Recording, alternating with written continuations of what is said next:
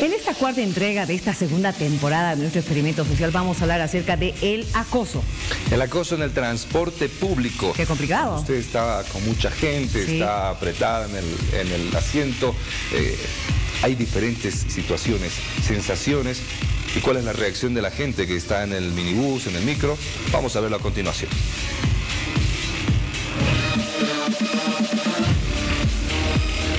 Gracias, pero por favor no, no, no me gusta que me toquen. Mucha calor, ¿no? Sí, mucho ca- a ver que la sigues molestando, señorita. Basta de molestar. Basta de molestar.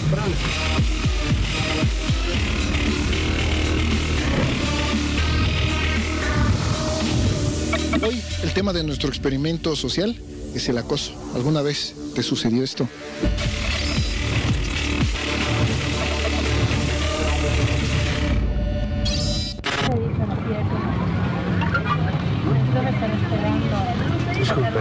¿Hasta, ¿hasta dónde va el auto, sabes? Mm, no sé, hasta la zona sur. San Miguel. San Miguel. No, le puede volver a bajar. ¿Y el pasaje cuánto, sabes? 260. 260. Gracias.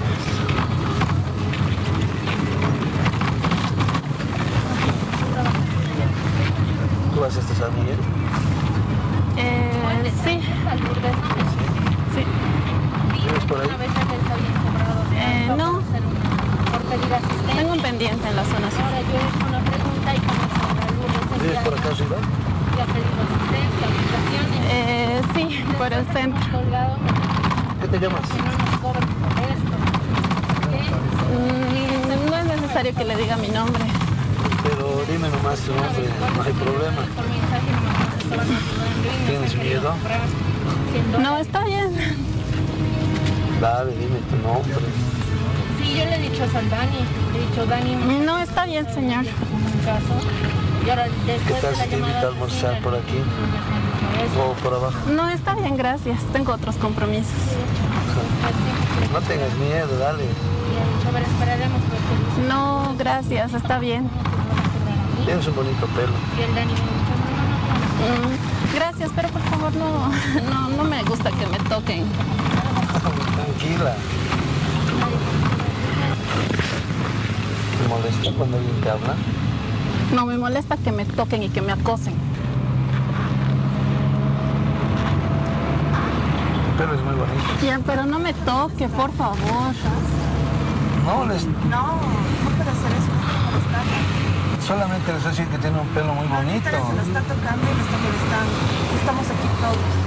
No la moleste, no sea abusivo. No me parece muy bonita y quiero Bueno, no conocerla nada más. Gracias, señora. Gracias, señora.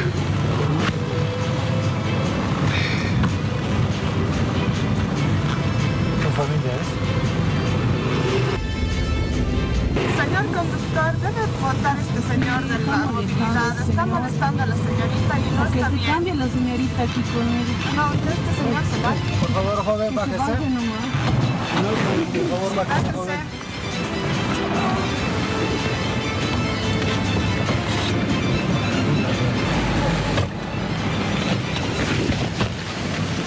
Debería darle vergüenza de comportarse de esa manera a usted.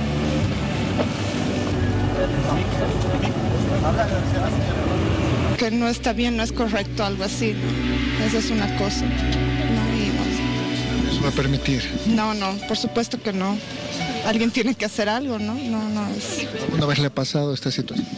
No, la verdad que no, pero no, no hay que quedarse callados, ¿no? Porque si uno se queda callado, eh, las cosas avanzan. y- También soy papá y no me gustaría que a mi hija me lo, me lo molestarían de esa forma. ¿Qué sintió ese momento? ¿Impotencia quizás? Sí, ya me estaba molestando. Muy bien, la señora reaccionaba. No escuchó, yo pensé que estaba con su audífono, no lo estaba escuchando más antes. Sí, porque no me ha parecido correcto, me ha dado ganas de darle un puñete. Yo dije, bueno, debe ser un fastidiosito de esos, ¿no? Que molestan a veces, pero podía decir cualquier nombre. Tampoco decir su- la- el nombre correcto. Hay manera. ¿Hasta el centro vas a subir? Disculpe, ¿por qué? ¿Cómo te llamas?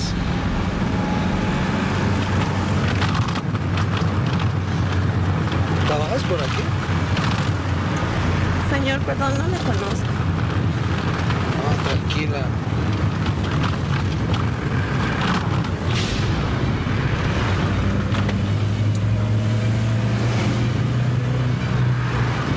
Calor hacia aquí abajo, ¿no? ¿No hablas mucho?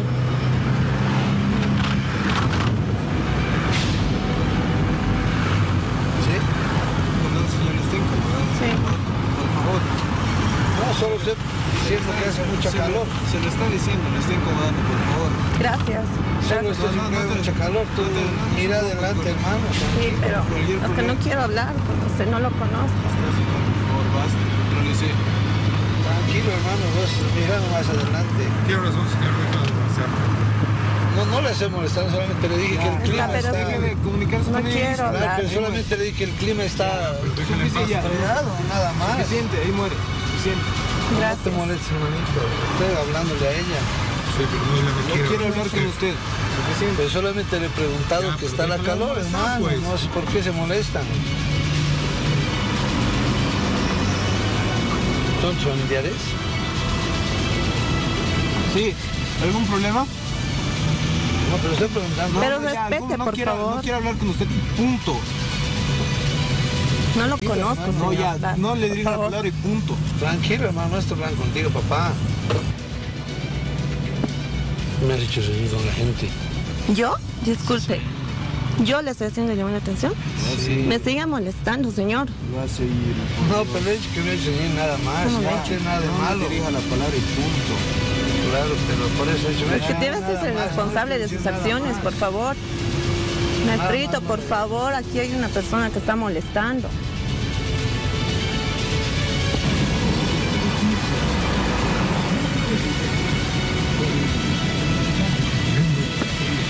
Perdón. Qué joder, ¿no? Tienes que dejar está acercando. Porque sabes que ella no se puede defender, pero yo sí me puedo defender. Vuelvo a ver que la sigues molestando, la señorita, y vamos a tener serios problemas tú y yo. Porque ella no se puede defender, pero yo sí. Te lo estoy diciendo bien. Hermanito. ¿qué estoy Gracias, joven. Se está Papá, ¿qué acercando. Ya, en la esquina, basta de molestarla. Basta de molestarla. Me voy a quedar, por favor. Mira, espera, no te quedes hasta que él se vaya, por favor. Bájate. Te puede hacer algo. Bájate ahorita.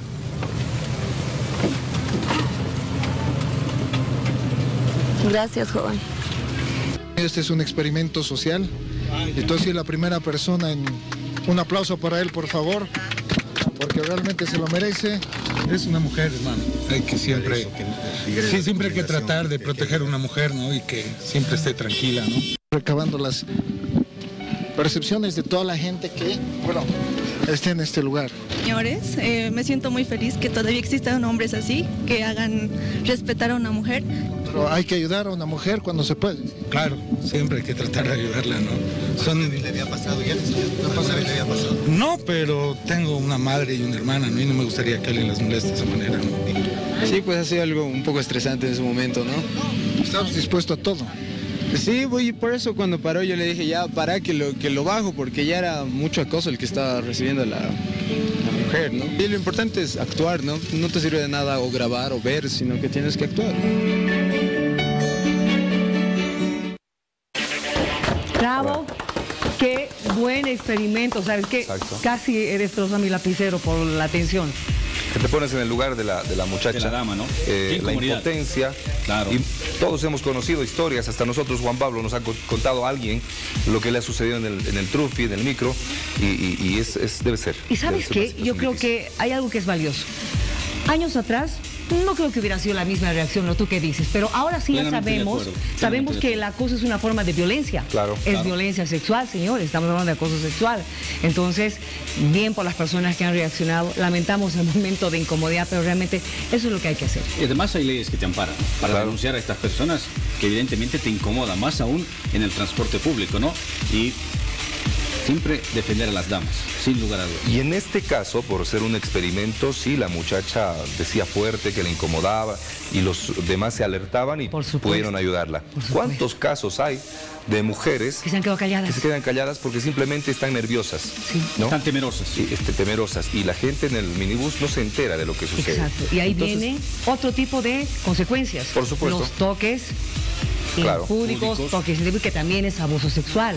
Eso nos, nos, nos alerta a que estemos más atentos también a lo que sucede alrededor nuestro en un minibús, en un micro, en cualquier tipo de transporte público o en cualquier lugar definitivamente. Exacto. Bien por Federico Camacho e Iván. Kisber, nuestros compañeros que realizaron este experimento social para mostrarnos esta realidad que se vive, hay que decirlos, que no tiene que pasar sin lugar a dudas. Excelente trabajo. Y quiero contarle que más adelante vamos a tener una entrevista con una de las protagonistas de la película Sonidos de Libertad, que está dando mucho de qué hablar y está obligando a la gente a que reflexione acerca de la trata y tráfico de personas.